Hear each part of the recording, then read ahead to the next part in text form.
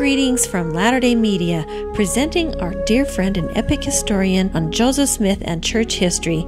This podcast starts a special series called Passport to Heaven. This is part two from 1841 to 1843. Brother Kay Godfrey. Welcome back. Today's uh, podcast is going to be very unique. We're going to cover some really interesting uh, subjects.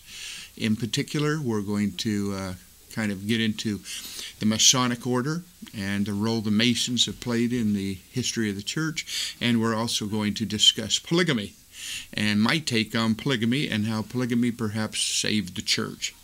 So we'll go ahead and begin um, our presentation today. Again, Passport to Heaven, Part 2, 1841 through 1843. On January the 5th, 1842, Joseph opened a red brick store. Uh, this store was located on Water Street. The slide shows a before and after, kind of a kind of a look. Uh, it would become the central gathering place for the saints. Many important decisions and instructions and ordinances would be uh, received at the red brick store. This wasn't Joseph's first red brick store. You'll remember from a prior podcast, Joseph's first mercantile store was located in Kirtland, across the street from his home. Joseph loved to visit the courageous converts who had recently immigrated from England, as well as the established members in the outlying branches of the church. On January the 8th, 1842, Joseph had an interesting visitor while on a visit to Plymouth to visit his brother Samuel and sister Catherine Salisbury. The visitor was a man named Royalty. He had invented a machine that he felt would revolutionize warfare for the next 300 years. It was a steam driven vessel that could throw a cannonball 300 feet and shoot liquid fire. Observations of the enemy was done by an uh, inboard telescope. Joseph found the details of the invention interesting. However, he felt that the invention should be used for some other purpose other than national defense. Joseph found time for his family and close friends. On his and Emma's anniversary on January the 18th, a large dinner party was held at the mansion house. There were 74 guests invited. It was a jubilee and commemorated Joseph's marriage to Emma 16 years earlier. In the spring of 1842, Joseph began publishing the translation from the record of Abraham, which was acquired in 1835. Extracts from the book of Abraham appeared in the Times and Seasons and in its British equivalent, the Millennial Star. On March 17, 1842, the Female Relief Society of Nauvoo was organized. Emma Smith was president. Elizabeth Ann Whitney and Sarah Cleveland were counselors. Elvira Cowles was made treasurer, and Eliza R. Snow was called as secretary. The prophet said, quote, The church was never perfectly organized until the women were thus organized. By the time of Joseph's death in 1844, the Relief Society had grown to over 1,300 women. Today, the Relief Society is the largest women's organization in the world, with over 7 million members in over 188 countries. The Relief Society motto, Charity Never Faileth, was taken from 1 Corinthians chapter 13, verse 8. In March of 1842, another important institution was established, Freemasonry, Many church leaders were Masons prior to joining the church. Freemasonry is an international society preaching brotherliness, charity, and mutual aid. This is a good union for the church and in harmony with the teachings of Joseph. On March 15, 1842, the Grand Master Abraham Jonas of Columbus granted authority for Nauvoo to have its own Masonic lodge. The Rising Sun Lodge of the ancient York Masons soon became the largest in the state. Lucius Scovil, uh, Scovil Bakery, donated the land for the building of the Masonic Hall. Its building would be dedicated in April of 1844 with over 550 members in attendance. Eventually, it would grow to over 1,500 members and again be the largest in the state of Illinois. That same day, Joseph received the first degree in Freemasonry. The next day, he was made a third degree Mason, the highest level in the York Rite. This effect would link Joseph and the church to many influential individuals who could help the saints' cause. In explaining the church's involvement in Freemasonry, look no farther than Joseph simply asking, What is this all about? It's evident that the Masonic ritual embraces a few features that resemble the rudimentary ceremonies of the temple endowment, yet these few points of similarity are largely restricted to the rituals pertaining to the Aaronic priesthood. The inspired rituals of the Melchizedek priesthood are entirely unknown to them. In point of fact, quote, the temple endowment transcends the Masonic ritual to the point that they are more unalike than alike. Heber C. Kimball recorded that after Joseph became a Mason, he explained to the brethren that Masonry had its origin from the priesthood. Franklin D. Richards, who became an apostle in 1849, stated Joseph the prophet was aware that there were some things about Masonry that had come down from the beginning, and he desired to know what they were, hence the lodge. Now, Masonry did not initiate, let me emphasize that again, did not initiate the temple endowment. From June 1830 to February 1831, Joseph was translating the Bible. During this time, he received a revelation called the Book of Moses. Now, to a great extent, it contains portions of the complete temple endowment. The phrase temple appears 191 times in the Bible. Malachi speaks of, quote, the Lord coming quickly to the temple and turning the hearts of the children to their fathers. In Corinthians, we learn of baptism for the dead. First Peter teaches of spirits in prison. Nehemiah speaks of a recorded genealogy in the temple. The first three chapters of Genesis relate the creation story. God says in Genesis, quote, This is a token of the covenant I have made between you and me. Exodus tells of Aaron being washed and anointed prior to having the holy garments placed upon him. Numbers talks about the laying on of hands. Isaiah and Revelations talk about the new name. Revelations also tells us that we are to become kings and priests, as well as not to defile our garments. Well, after the Savior's appearance in the Kirtland Temple on March 27, 1836, a partial endowment was administered with washing and anointings. On January the 18th, 1842, three months prior to Masonry being established in Nauvoo, Joseph was given a revelation to build a temple. In it, he was told, quote, Let this house be built unto my name, that I may reveal mine ordinances therein unto my people. For I plan to reveal unto my church things which have been kept hid from before the foundations of the world. Well, in 1844, the Nauvoo Masonic Lodge was severed from the Illinois Grand Lodge for alleged improprieties and because of jealous anti Mormon Masonic members from surrounding lodges. Masonry was then discontinued once the saints left for the Rocky Mountains. It was no longer needed. On April 16th, the WASP weekly newspaper was published. William Smith was its editor. The paper had political overtones and was used to rebuff the accusations made by Thomas Sharp in the Warsaw Signal. In late April, Joseph was inspired to introduce the first temple ordinances.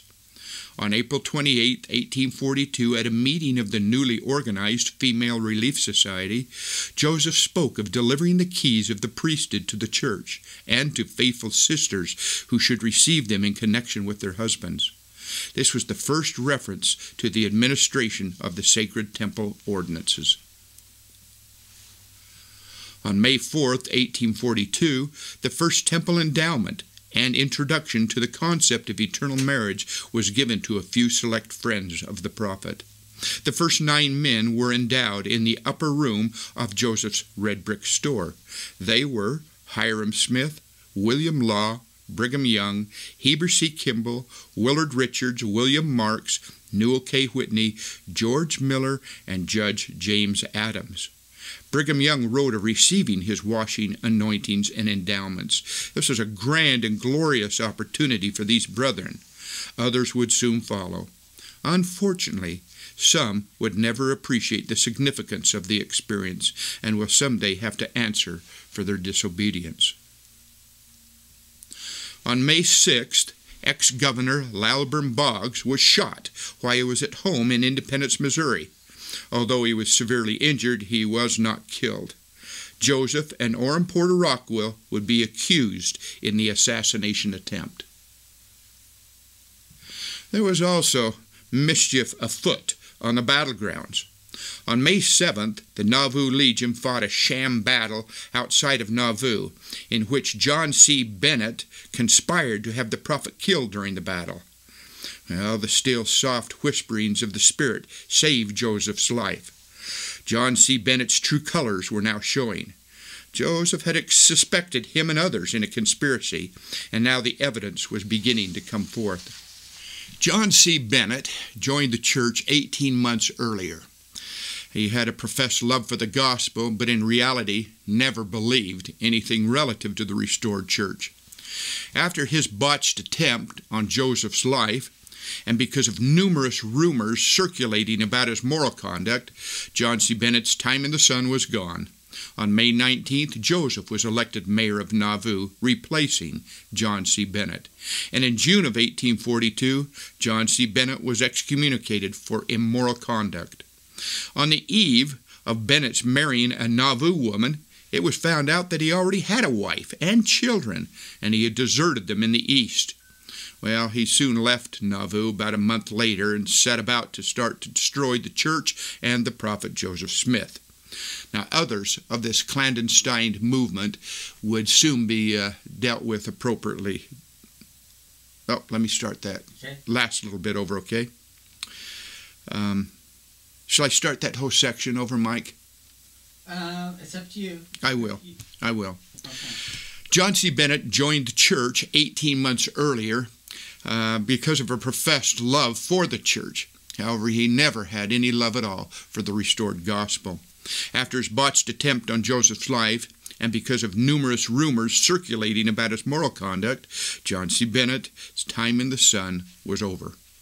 On May 19th, Joseph was elected mayor of Nauvoo, replacing John C. Bennett, and in June of 1842, Bennett was excommunicated for immoral conduct. On the eve of Bennett's marrying a Nauvoo woman, it was found out that he already had a wife and children that he had deserted in the East. Well, he left Nauvoo later in the month and set about to destroy the prophet Joseph Smith. Now, others of this clandestine group would also soon be cut off from the church. In fact, the lawyer, Chauncey L. Higbee, was excommunicated from the church for unchaste conduct involving four young girls caught in his deceit and misrepresentation. Now, his involvement with the conspirators would likewise soon be known to all. So the purging process, the purging process had begun again. Joseph was continually trying to perfect the saints. Many times this would involve purging those who had an evil heart. On July 20th, 1842, Lilburn Boggs swore in an affidavit that Orrin Porter Rockwell had tried to kill him, and Joseph Smith was an accessory before the act. Orrin once made the statement, quote, I could not have been involved, for if I was, he would be dead. On August the 6th, while in Montrose, Iowa, at the installation of the officers of the Rising Sun Lodge of the ancient York Masons, Joseph made a very remarkable prophecy. Quote, the saints would be driven to the Rocky Mountains, where they would become a mighty people. Now, interestingly enough, he did not include himself in the fulfillment of this particular prophecy. On August the 8th, the prophet and Orrin Porter Rockwell were taken into custody for the attempted assassination of Lilburn Boggs. The uh, arresting sheriff from the governor's office was afraid to obey or disobey the order to arrest Joseph uh, because Joseph had produced a writ of habeas corpus, which which demanded that he be tried literally in Nauvoo. So this arresting officer, not knowing what to do, rushed away to consult with Governor Carlin of Illinois, who was actually in league with Governor Thomas Reynolds of Missouri. When he returned to rearrest Joseph, he was gone. Joseph had hidden to escape imprisonment. They had fled to a nearby island in the middle of the Mississippi. Now, over the next three months, Joseph would hide in a variety of homes throughout Nauvoo to escape these illegal warrants. Now, while hiding, Joseph wrote a number of important addresses to the saints on the subject of baptism for the dead. The prophet had the time to contemplate who are my friends? Who are my friends? On August the 23rd, 1842, the prophet decided to record their names in his book that he'd entitled, quote, The Book of the Law of the Lord. Now, a few of the names that he recorded and wrote brief comments on were Joseph Knight Sr., Newell Knight, Joseph Knight Jr., and Orrin Porter Rockwell, about whom he said, quote, My soul loves him. He also included, of course, Joseph Smith Sr., Lucy Mack Smith, Alvin Smith, Don Carlos Smith, and Hyrum Smith. On December the 26th, after nearly three months of hiding, Joseph submitted himself to be arrested when the Supreme Court of Illinois ruled that the writ he had filed in Nauvoo was illegal. On January the 2nd, 1843, as Joseph waited trial, he prophesied that he would never be taken to Missouri, dead or alive. At the trial on January the 4th, Joseph was proven innocent for the third time and acquitted of being an accessory to the shooting of Boggs. Joseph could now finally enjoy a brief moment of peace. He spent some quiet time during the month of February studying the German language. He had always said that the, uh, the German version of the King James edition of the Bible was the most correct. Joseph found time now for his family and close friends. In fact, on February the 8th, he spent the day sliding on the ice with his son Frederick, who at the time was six years old. Joseph continued to have close contact with the heavens. On February the 9th, Joseph received what is known today as Doctrine and Covenants, section 129, a really interesting section of the Doctrine and Covenants, which states the way in which angels, just men made perfect, and evil spirits can be discerned. On Saturday, March the 4th, Orrin Porter Rockwell was apprehended in St. Louis by the Missourians for the attempted murder of Boggs. It would be ten months before Joseph would see his good friend again. However, on March the 15th, Joseph prophesied, quote, Orrin Porter would get away honorably from the Missourians. On April the 2nd, while visiting the outlying community of Ramus, Joseph Smith received a revelation found in Doctrine and Covenants, section 130. It stated many great truths in this particular prophecy, such as, quote, The Father has a body of flesh and bone, as tangible as man. The more knowledge and intelligence a person could gain in this life, he would have so much the advantage in the world to come. And when we obtain any blessing from God, it is by obedience to that law upon which it is predicated. Joseph would give over 200 such sermons that would shape the saints' understanding of gospel doctrines and immeasurably influence the church. Now, of interest to Joseph, the quote, amateur archaeologist, was the discovery of some really unique metal plates found on April 23, 1843. There were six brass plates and supposedly a skeleton found by a Mr. R. Wiley near Kinderhook, Pike County, Illinois. Joseph hoped that this would validate the existence of ancient plates like those of the Book of Mormon. Anti Mormons hoped to trick Joseph into translating these hoaxed plates. However, he never stepped into the trap. These are really interesting. I've seen I've seen these before. This particular slide, the Kinderhook plate sketched um, by an unknown artist and published in the periodical Times and Seasons. This is the front and back of each six plates, and you can see these sketchings and etchings. And there was supposedly a large uh, skeleton found as a man dug in this uh, in this particular mound site in Kinderhook. And uh, again, they were brought to Joseph in an attempt to have him translate them and trick him because they were they were hoax, they were faked. But Joseph the prophet, knowing this, did not get engaged in the uh, in the tra- actual translation of what was on these bell-shaped brass plates. Now, in May, the uh, the newspaper The Wasp took on a new and friendlier name. It was now be called the Nauvoo Neighbor. Its editor was John Taylor, about whom Joseph said, quote, John's only sin in life is that he could not spell. It'd be really difficult to be the editor of the newspaper and not be able to spell. The first edition was circulated on May 3, 1843, the Nauvoo Neighbor. In mid May, Joseph traveled to Ramus, Illinois for another conference. On his way home, he stopped in Carthage and had dinner with Judge Stephen A. Douglas. And while there, Joseph prophesied that Judge Douglas would aspire to the presidency of the United States, but if he ever turned against the saints, he would feel the hand of the Almighty. Well, unfortunately, history tells us that Judge Douglas did run for the presidency, and under pressure, he did turn against the saints in the Utah War. He was beaten badly in the election, even though he was the favored candidate. Abraham Lincoln was the winner of that particular election. Judge Douglas died six weeks after his defeat. On May 26, Joseph re-administered the temple endowment to the same individuals he had a year earlier, giving them further light and knowledge. This time, however, he included Emma, his wife. On September 28, 1843, Emma would become the first female to receive the endowment.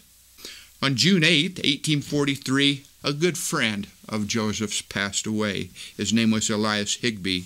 He was an avid supporter of the cause of the saints, and he accompanied the prophet to Washington, D.C., and showed great courage as he stood before the Senate and virtually argued the saints' cause by himself.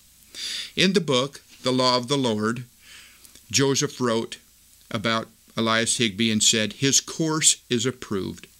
Unfortunately, that could not be said about Elias Higbee's sons. It seems that this point, particular point in time, the Higbee brothers started to turn on Joseph. Francis and Chauncey L. Higbee were men of importance in the community. Chauncey was a lawyer, and Francis was a justice of the peace. Chauncey, however, had been excommunicated from the church in May of 1842 for unchastity. Francis was also an adulterer However, his excommunication was not formalized until May of 1844. I want to direct your attention to this slide for a moment, and for those of you that are audio only, I'm going to read a part of this. I think this is really interesting, taken from uh, the newspaper and, and listing the deaths of individuals and how they died. It said, Deaths for the week ending Monday the 15th, Hiram J. Perry was an infant. Deaths for the week ending Monday the 22nd, whole clad, whole clad, colored woman, 55 years, consumption. Deaths for the week ending Monday the 12th. Here you have Elias Higbee, 47 years old, from inflammation of the bowels. Mary Ellen Henderson, four months, fever. Lorena Hoare, 11 years old, nervous fever. Deaths for the week ending Monday the 19th. M.S. Loveland, one year, fits. Robert R. Tripp, 50 years, consumption. Eliza A. Mills, 29 years, nervous fever. Ellen M. Webb, 4 months, canker. Jane Farrer, 7 years, canker. Marianne Bailey, 2 years, dropsy. George Carr, a 10 year old, apparently drowned. Deaths for the week ending Monday, the 26th. Elizabeth Jane Smith, 10 months, measles. I just share that with you to to show you the variety of issues and challenges, um, at least health wise, that these good folks in Nauvoo had. A lot of people pass away from a lot of different things. All of those terms reflect some other term that we would call the same illness today. For example, consumption is tuberculosis and perhaps as we go through our the balance of our Nauvoo podcast, I'll allude to some of these things and and do the comparison so you know what we're talking about here. Anyway, Elias Higbee, good friend of the prophet Joseph. On June the 13th, Joseph and Emma left on a trip. They went to Dixon, Lee County, Illinois. They're going to go visit Emma's sister, who was living there at the time. Now, Joseph H. Reynolds, a sheriff from Jackson County, Missouri, and Constable Her- Harmon T. Wilson of Carthage, Illinois, were given a writ signed by Governors Reynolds of Missouri and Governor Ford of Illinois and told to go and arrest Joseph. This was done at the urging of John C. Bennett, who had now joined the Missouri forces trying to capture Joseph. I find this really interesting, and this particular slide kind of reflects this this involvement of two states trying to um, trying to arrest Joseph. You got Lilburn Boggs, the governor of Missouri, from 36 to 40, was the first to attempt to arrest Joseph. And then you got a combination of Boggs and Carlin. Carlin's the governor of the state of Illinois from 38 to 42, trying to arrest Joseph. And then you got Reynolds, who's now the governor of Missouri, conspiring with Carlin, the governor of Illinois, for a third time to arrest Joseph. And now you've got a fourth time. You got Reynolds, the governor of Missouri, with Ford, who's now the governor of Illinois, trying to arrest Joseph. These guys just Pete and repeat. well, Judge James Adam discovered this plan while in an unrelated conversation with Governor Ford. He sent a warning to Joseph. Now, since Joseph was en route to Dixon, William Clayton and Stephen Markham rode 212 miles in 64 hours to warn Joseph of the impending danger.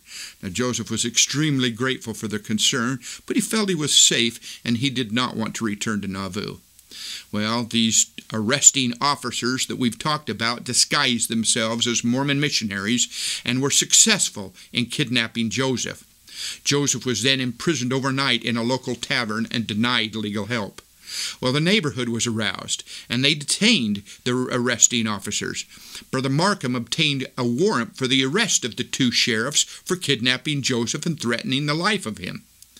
Well, the two sheriffs were then arrested by Sheriff Campbell of Lee County.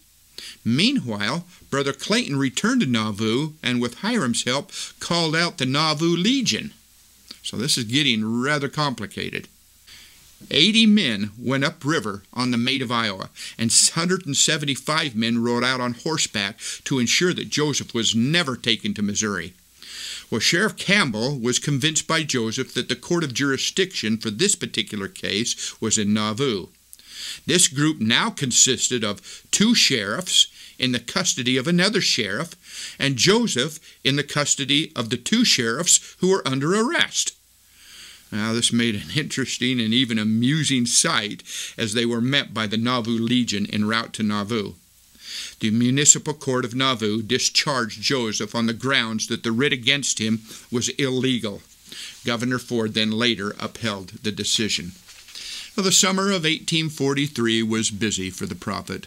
Authority had been given the saints in March of 1842 for the construction of their own Masonic lodge in Nauvoo, the cornerstone being laid June 24, 1843.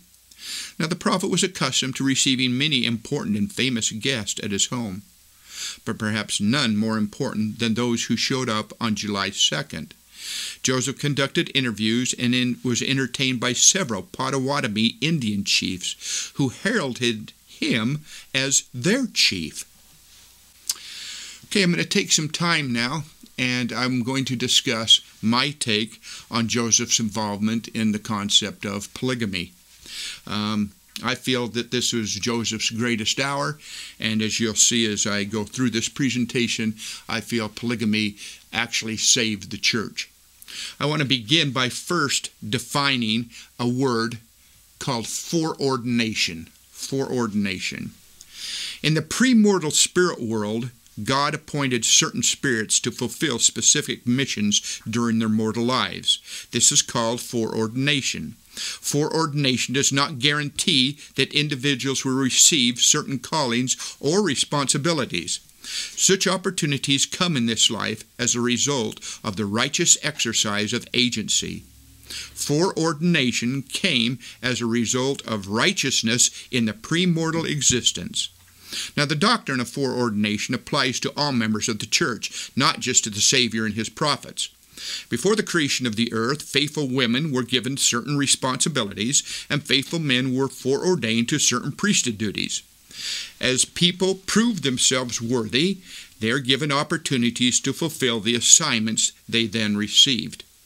Now, the date of July the 12th, 1843, in my opinion, will be, will be recorded in the heavenly record on high as Joseph's greatest test of his noble foreordination. The revelation on celestial marriage, Doctrine and Covenants 132, was dictated by Joseph and written down in the presence of Hyrum Smith by William Clayton. The preface to section 132, and I'll read it right off the slide, says Revelation given through Joseph Smith the prophet at Nauvoo, Illinois, recorded July 12, 1843, relating to the new and everlasting covenant, including the eternity of the marriage covenant and the principle of plural marriage. Although the revelation was recorded in 1843, evidence indicates that some of the principles involved in this revelation were known by the prophet as early as 1831. And certainly, yes, they were.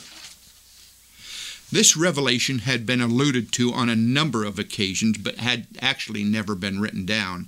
Hyrum urged Joseph, write the revelation down by way of the Urim and Thummim. That's interesting to contemplate that the Urim and Thummim was still had and apparently used as late as 1843. But Joseph said to Hyrum, I do not need to, for I know the revelation perfectly from beginning to end. This principle had been weighing on Joseph's mind for many years. It was explained in part to him in February of 1831. Joseph became concerned about passages in the scriptures in Genesis, which, when he was translating the Old Testament, referred to the many wives of the ancient prophets, prophets like Abraham, Esau, Jacob, Moses, and David. He inquired of the Lord why these men were blessed, when by standards of Joseph's day they would be under condemnation. He was told the purpose was to, quote, raise up a righteous seed unto me. So there's purpose number one to raise up a righteous seed unto me. Now, I'm going to share with you three purposes that I think are so important with regards to polygamy, but that's obviously uh, one of the purposes to raise up a righteous seed unto me.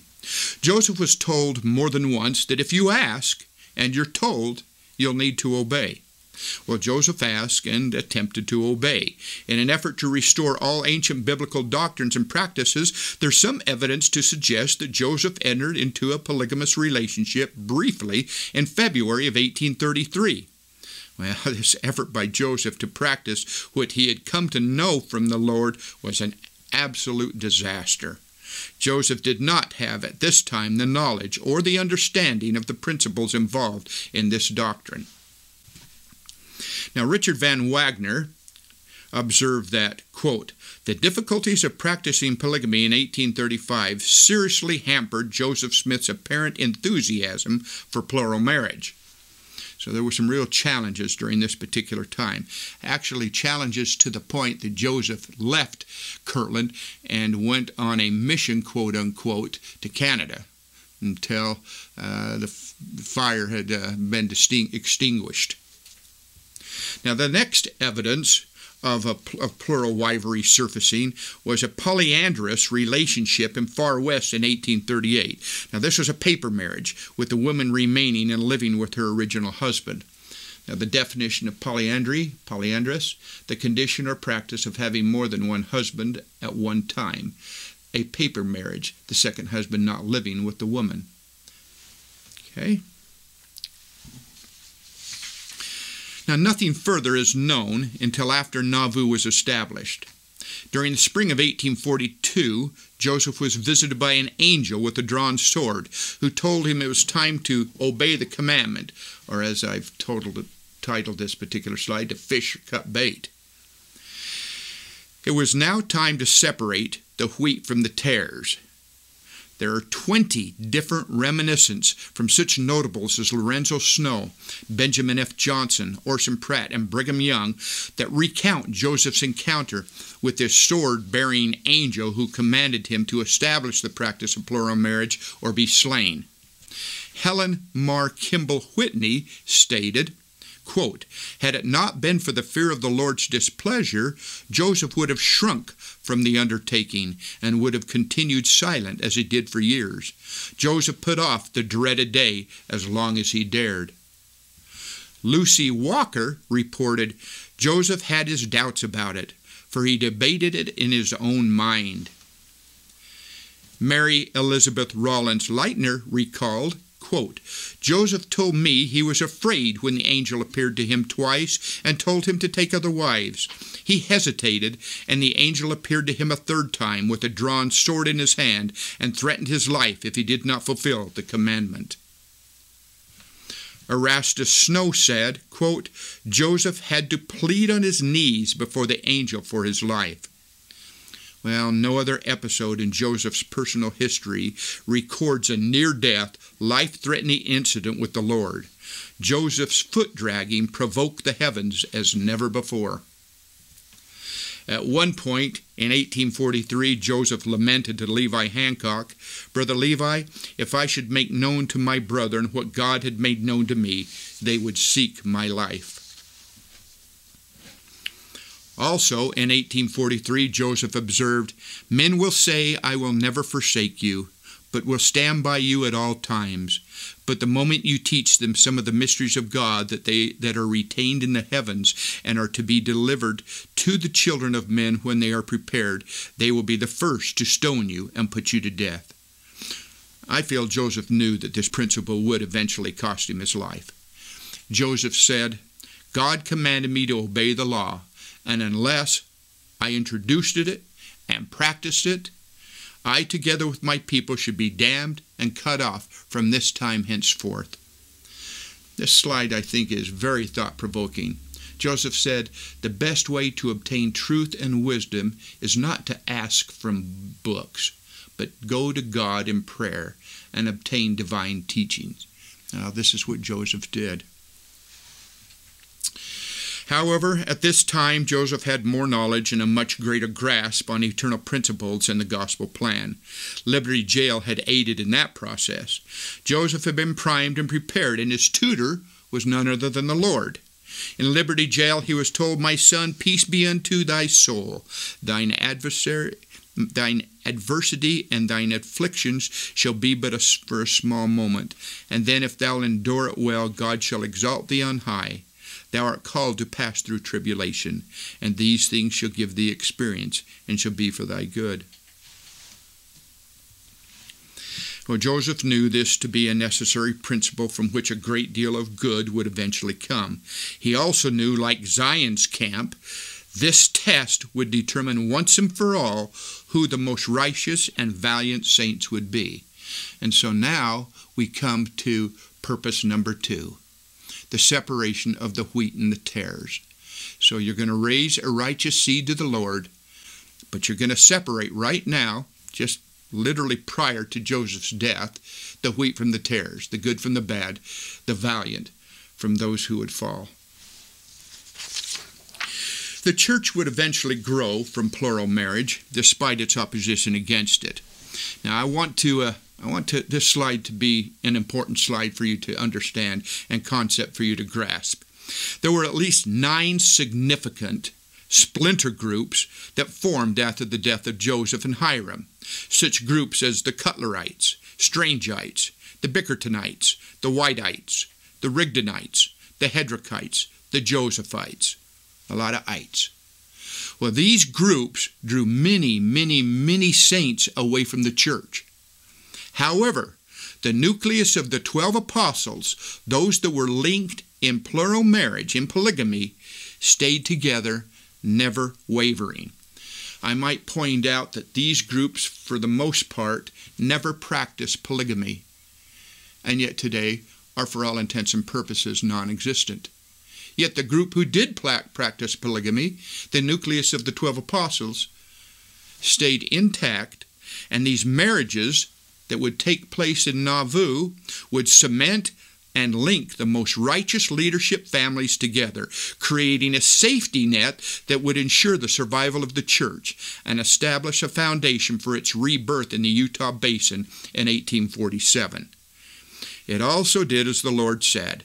It separated the wheat from the tares and raised a righteous seed. This is the purpose of polygamy to save the church, where everybody else splintered off and then fell away, and then their churches are non existent today. The Church of Jesus Christ of Latter day Saints is grateful for those who did practice polygamy. Because of it, the safety net was formed. Now, there are 33 well documented plural marriages to the prophet Joseph Smith. Once instituted in the church, there were never more than two, maybe 3% of the righteous priesthood holders ever practicing it. Now, Brigham Young, somebody we kind of chuckle about with regards to polygamy, he had a very difficult time accepting this concept of plural marriage. Quote, I was not desirous of shrinking from any duty, nor of failing in the least to do as I was commanded, but I was the I was for the first time in my life desirous of the grave. I could hardly get over it for a long time, and when I saw a funeral, I felt to envy the corpse situation, and to regret that I was not in the coffin.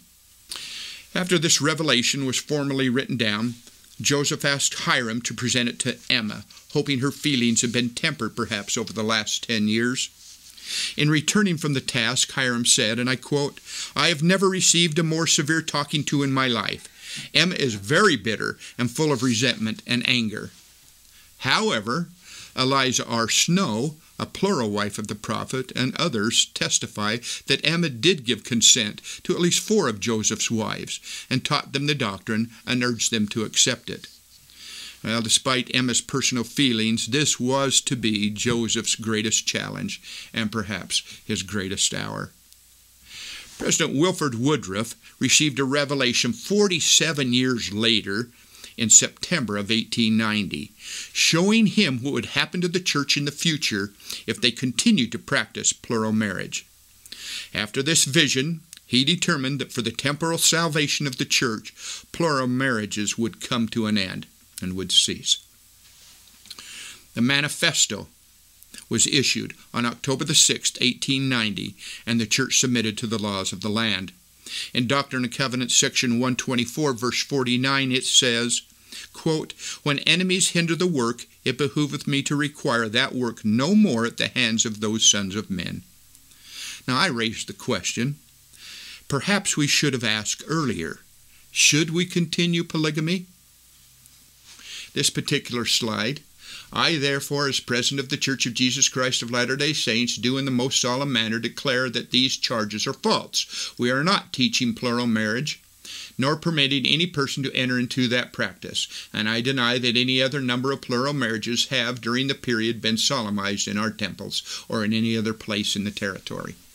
It might have been nice to have stopped polygamy, plural marriages prior to the manifesto, but we didn't ask. Well, Joseph accomplished what he was asked to do, and because of what he accomplished, he'll be exalted. Okay, that's going to conclude our podcast for today. I hope it's given you some interesting thoughts to think about and aids and assist you in your further study of the Doctrine and Covenants. Next time we meet, we'll be going into part three of the Passport to Heaven Joseph's experiences in the Nauvoo era. Thank you for watching. This Come Follow Me video series is a bonus resource to enhance your appreciation of the Prophet Joseph Smith with little known facts and research about American and church history. Thank you for listening today and for sharing this ComeFollowMe2021.com website. We sure appreciate those who have been contributing on our Patreon page under Latter day Media. We'll have a link in the show notes, and we would love to invite more to help support this work.